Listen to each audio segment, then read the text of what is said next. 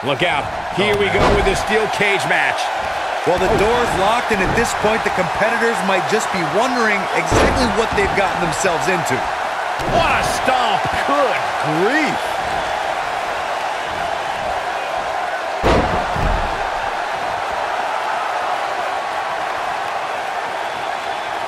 Hooked up.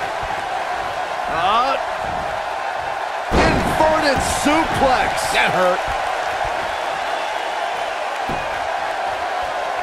What a strike. Right on the mark.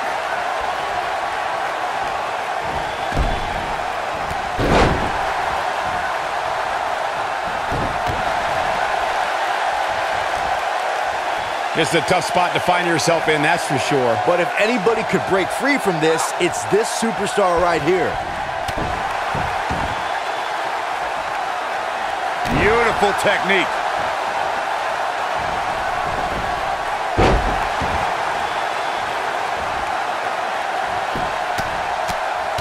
In the mouth. Relent. Oh, the referee better get a hold of things. How did they get away with that? That's not legal.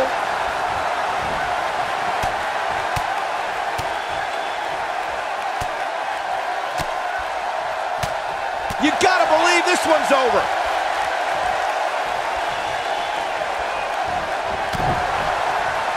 Gotta wonder how this is gonna end, Byron. Whatever happens, it's not gonna be good. I can tell you that. According to historians, the twisted metal that we see as part of steel cages today dates back 80 years. To settle a dispute between competitors Jack Bloomfield and Count Pietro Rossi, the two met inside a ring surrounded by chicken wire.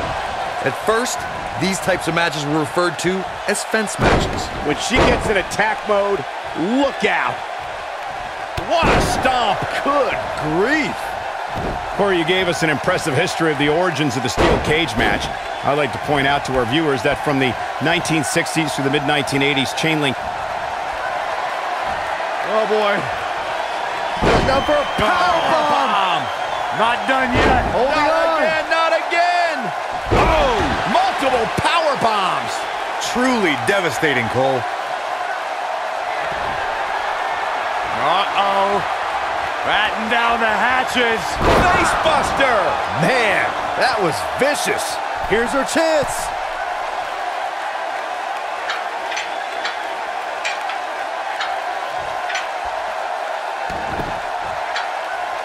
The rivalry between Ultimate Warrior and Ravishing Rick Rude began during the Super Pose Down at the 1989 Royal Rumble.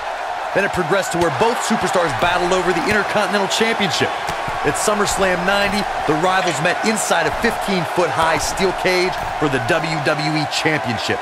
Victory could be achieved by pinfall or escape from the cage. What impact.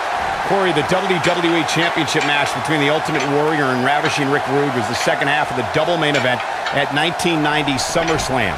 The rivalry between the Warrior and the Ravishing one was so heated that no one knew what to expect once the two men were able to battle inside a steel cage, which at the time was the most grueling match in all of WWE.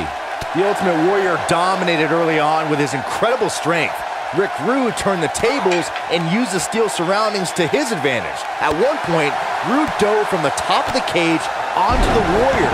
But after the Warrior's signature Gorilla Press Slam, the Ultimate One climbed over the cage and retained his WWE Championship.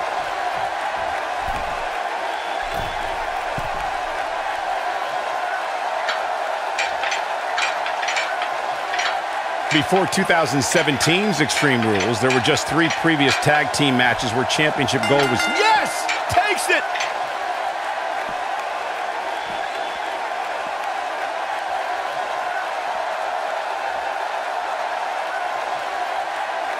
Now let's take another look at these wonderful women in action.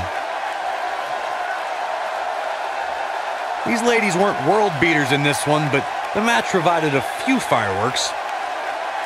She'll be happy with the victory here, but overall, the match wasn't as good as I hoped it would be before it started. Happens Here sometimes. is your winner, Young I You. They proved who the better competitor was tonight.